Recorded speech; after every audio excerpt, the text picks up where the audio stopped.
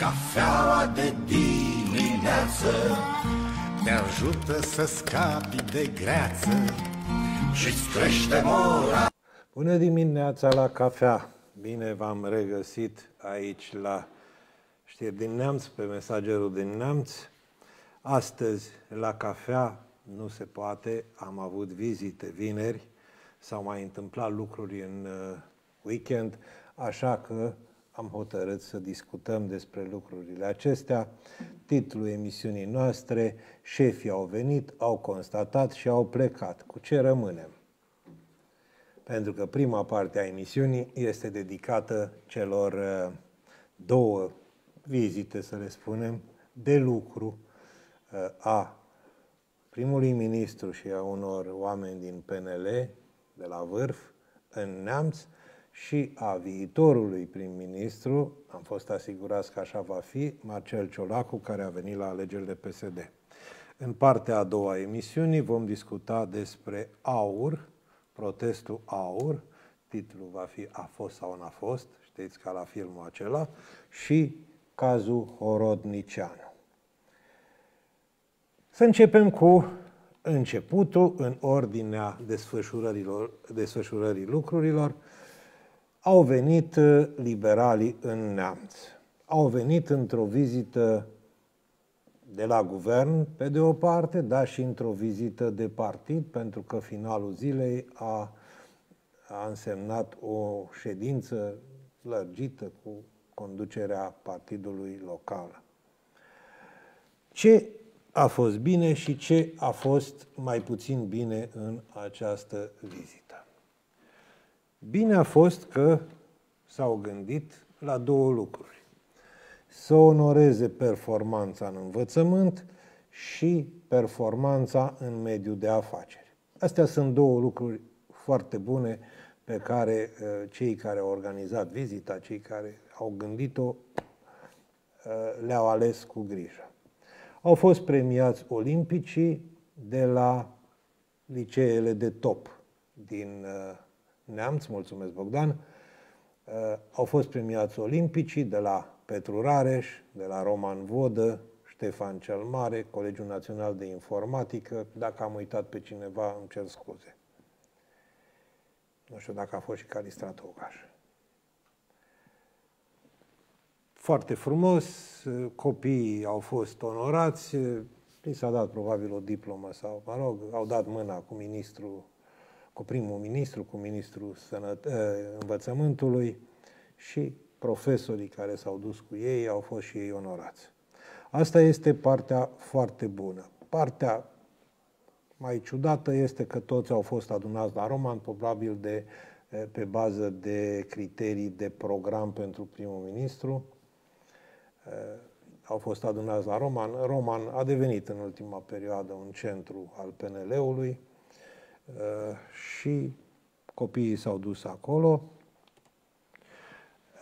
Partea care trebuie să o rezolve liberalii de acum înainte, aproape obligatoriu, este ca să-i onoreze și pe ceilalți olimpici care n-au fost de la aceste licee, pentru că e, eu zic că este o obligație pentru ei în momentul acesta să facă lucru respectiv, pentru că altfel s-ar crea o discrepanță, mă rog.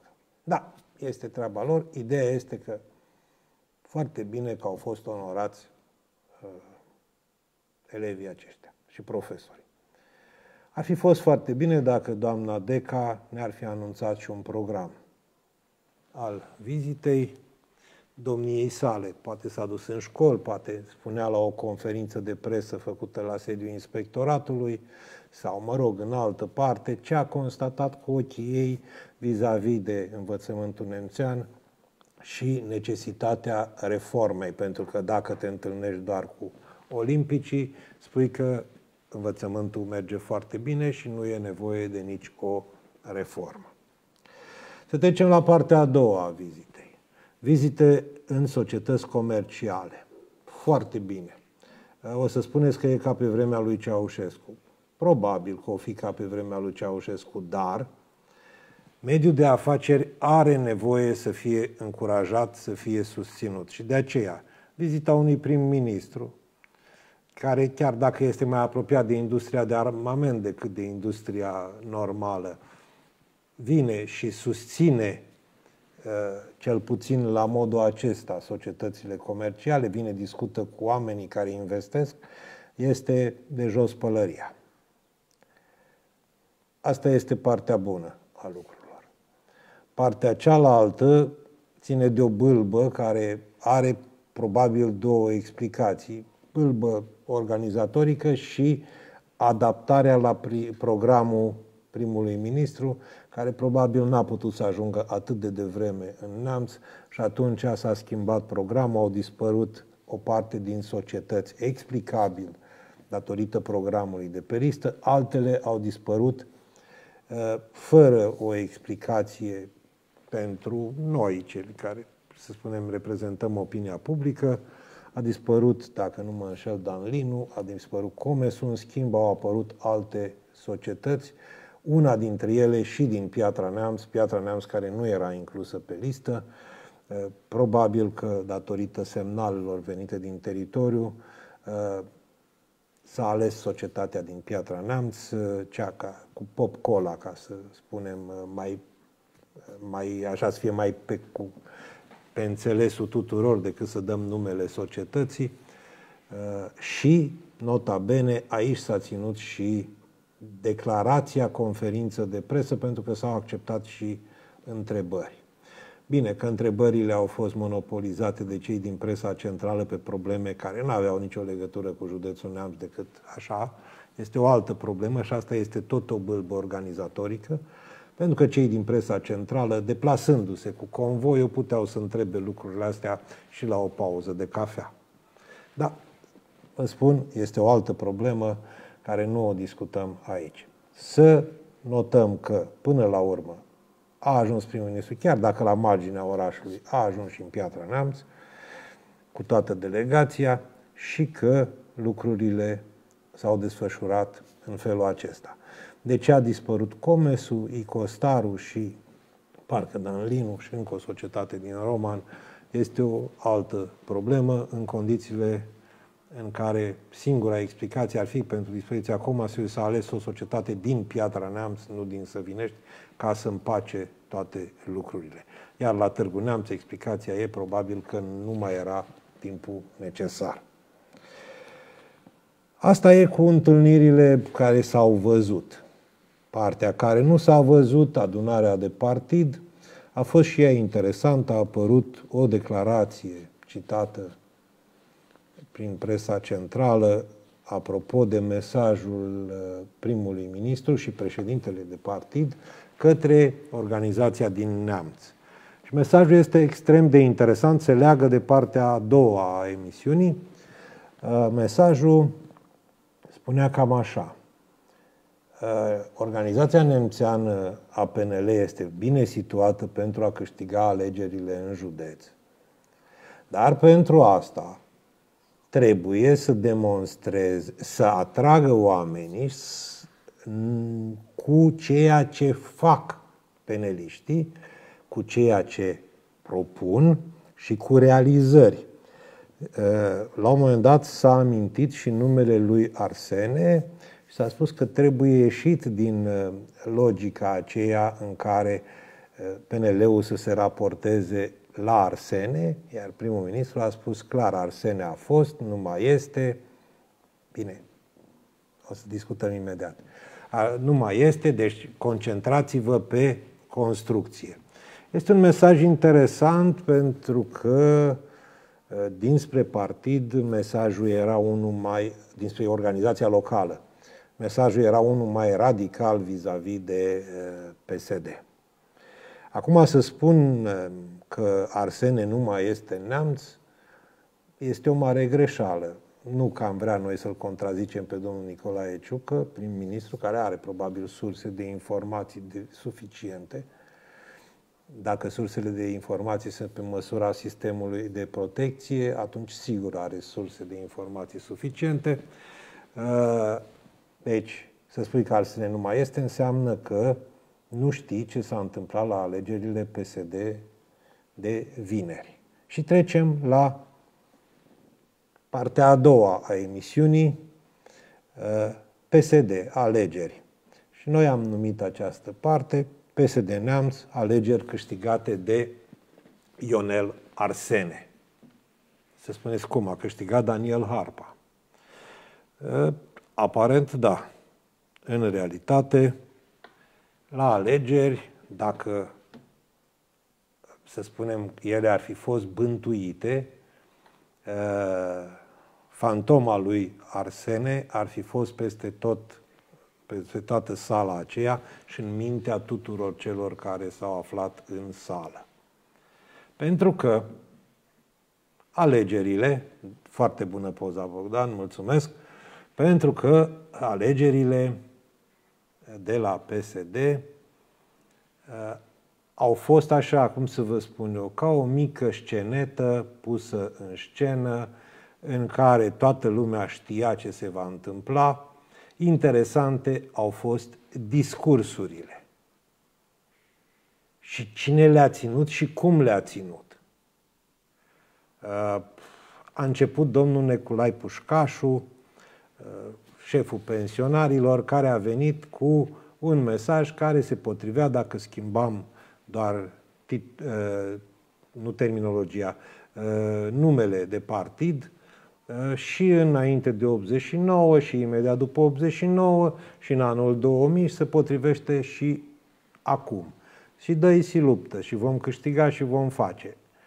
Uh, toți vorbitorii locali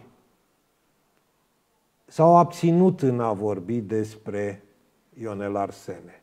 Pentru că ei știu exact cum stau lucrurile aici și știu și cu bine și cu rău ce s-a întâmplat pe timpul lui. A venit domnul Dragoș Benea, europarlamentar de la Bacău, care are un om în neamț, administratorul de județ, care face naveta de la Bacău, pus de Ionel Arsene, repus de Iona Saftei în funcție. Și domnul Dragoș Benea, care nu era un admirator al lui Ionel Arsene, din potrivă, a venit și a detonat, ca să spunem așa, a aprins fitilul. Și a zis, domne, organizația asta a avut realizări mărețe pe timpul lui Ionel Arsene. Și în momentul acela, în sală, au izbucnit aplauze, chiar și ovații. A fost un moment interesant pentru că cei din sală și-au putut revărsa adevăratele sentimente liber dacă a venit un șef și le-a spus lucrul ăsta. După care a urmat domnul Marian Neacșu, eminența cenușii a PSD-ului, eh, eminența PSD-ului, pardon, eh, care a întărit acest mesaj pentru că el nu e așa, avea niște înțelegeri cu domnul Arsene de pe vremea când domnia sa era la Pro-România. Și Pro-România s-a bătut foarte tare ca să-l eh, dea jos pe domnul Harbuz de la Pro-România și să o pună pe doamna Ciubotaru, care după aceea a fost pusă de Arsene, vicepreședinte al Consiliului Județean și care mai nou face parte din grupul de sfătuitori al domnului Adrian Niță și poate nu numai al lui. Bun, a venit după aceea Gabi Stănescu, un om care nu l-a suportat pe Ionel Arsene, a venit domnul Ciolacu, care nici el nu era un prieten deosebit cu domnul Ionel Arsene, dar toți l-au lăudat și de fiecare dată sala a aplaudat, așa cum merită un președinte de Consiliul Județean bun. Nimeni, niciunul, nu a vorbit și despre lucrurile mai puțin bune și pe care lumea le știe Inclusiv se știu la PSD la București. Adică spitalul de la Lețcani, care este acum nici măcar bun de muzeu, alte probleme, afaceri, lucruri lusci și spital și alte lucruri, spitalul a fost amintit. Dar cel aflat încă în proiect. Că trebuie felicitați uh, cei de la organizația PSD că spitalul are trei, va începe cândva să fie construit. Ceea ce, într-adevăr, trebuie felicitat uh, Ionel Arsene și conducerea PNL, eh, PSD uh, și consilierii de acolo, dacă au un cuvânt de spus. Dar uh, să spui asta la PSD, mă rog, nu mai contează. Important este că Ionel Arsene a câștigat aceste alegeri. Pentru că vrea, nu vrea, Daniel Vasilică Harpa este văzut ca urmașul lui Arsene, chiar dacă la telefon nu se mai răspunde cum se răspundea în trecut. Ionel, Ionel Arsene a câștigat pentru că l-a postat imediat în spatele lui Harpa, alături de Ciprian Șerban, deci ca prim vicepreședință amândoi, pe Adrian Niță, omul care a stat lângă Arsene la Consiliul Județean în calitate de om bun la toate, mergea cu el în deplasări, etc., așa, și care acum a fost pus prin vicepreședinte, în ciuda faptului că, spun surse din partid, lucrul acesta a deranjat. Părerea personală a subsemnatului este că a fost susținut de domnul Marian Neacșu la nivel central ca lucrul acesta să se întâmple. Da, este fix problema PSD-ului și a domnului Harpa, care acum va trebui să fie foarte atent pentru că pârghiile de decizie nu sunt în mâna lui. A spus-o clar și direct Marian Neacșu în discurs. A trecut vremea când un singur om hotăra în organizația din neamț. Deci, nu mai este vremea aceea, vor hotărâ mai mulți și dacă te uiți la structura de conducere, probabil Harpa va avea niște probleme. Să nu uităm că totuși, dintre cei trei de la vârf, singurul pesedist autentic este Harpa. Autentic, în sensul că a intrat în PSD și a rămas. Adrian Niță are un trecut interesant, politic, să nu uităm însă, vârful președinte la un partid care era total aparent anti-PSD, M10, al doamnei Monica Macovei. Din președinte de partid, de filială a, la M10 să fii prim vicepreședinte la PSD, dovedește o capacitate de adaptare senzațională care merită felicitată. Uh, și dovedește că PSD-ul este ca un burete. Poate absorbe și transforma orice. Poți să iei un țărănist să-l faci pesedist, poți să iei un penelist să-l faci pesedist, poți să iei un, unul de la M10 să-l faci pesedist, poți să-l iei pe Ciprian Șerpan, care a fost de la PPDD, adică Partidul lui Dan Diaconescu, să-l faci prim vicepreședinte. Poți să iei pe Oana Bulai de la PNL să o faci stâlp al comunității PSD. Deci, partidul absoarbe și ca un burete și transformă uh, pe cei care vin și îi face pesediști uh, hotărâți, cinstiți și fără alte probleme.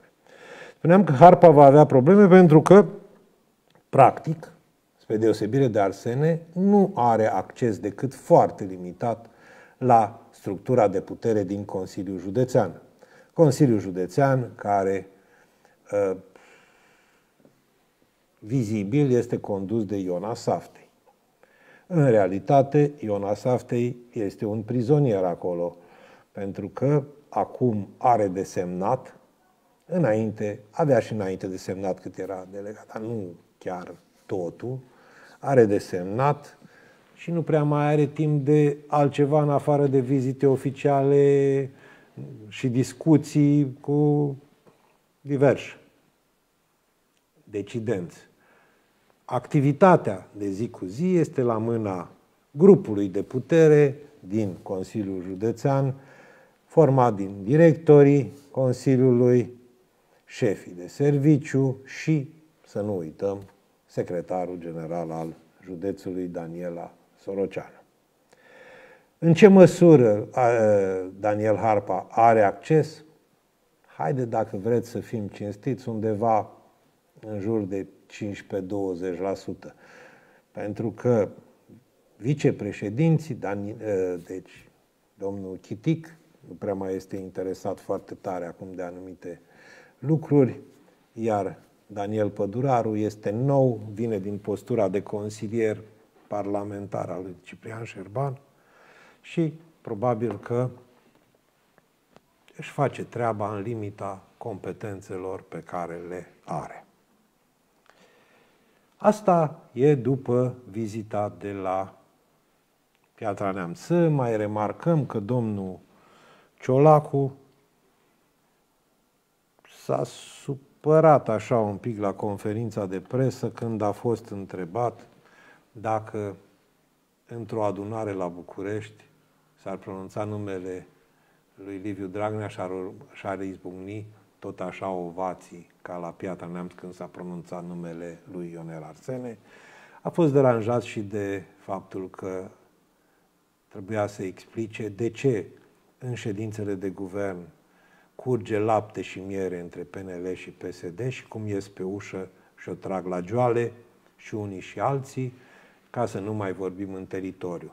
Așa că a, această conferință de presă de după alegeri s-a întrerupt brusc, pentru că se grăbeau. Unii să plece, am înțeles, parcă în alt județ, șefii, ceilalți să sărbătorească, parcă la central s-a amintit în, în, la finalul ședinței. Asta despre ce s-a întâmplat. Deci, șefii au venit, au constatat, au plecat și mergem mai departe. A fost protest aur la București. Unii spun că peste 10.000 de persoane, cei de la aur spun că mai mulți.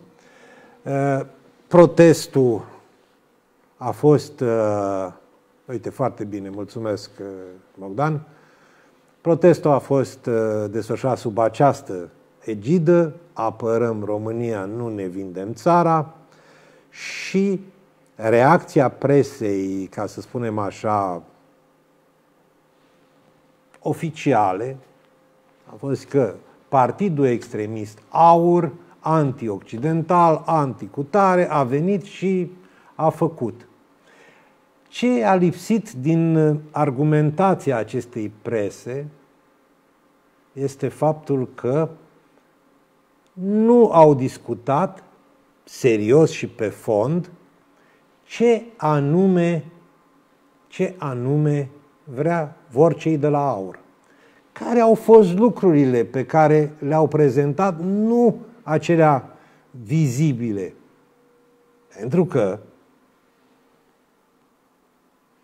s-au adunat niște oameni și pentru că aur tot crește în sondaje. Ba mai mult, în ultima perioadă se spune că fură alegători, cu ghilimele de rigoare, chiar de la PSD. De ce? Pentru că mesajul este unul tradiționalist se vorbește despre valori și tradiții naționale, care în momentul acesta sunt considerate lucruri trecute, fără valoare, dar se uită că o populație îmbătrânită ca a României are niște repere, bune, rele, dar le are, vis-a-vis de aceste valori tradiționale și ține la ele. Până când om muri toți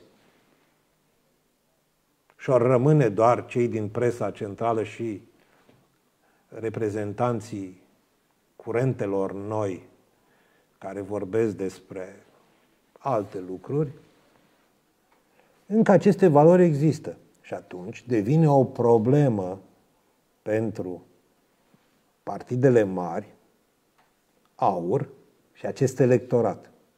Aur probabil va fi neutralizat foarte curând, Simion va veni târziu, care târziu probabil va învăța și el drumul spre Cotroceni sau, mă rog, în altă parte, vom vedea.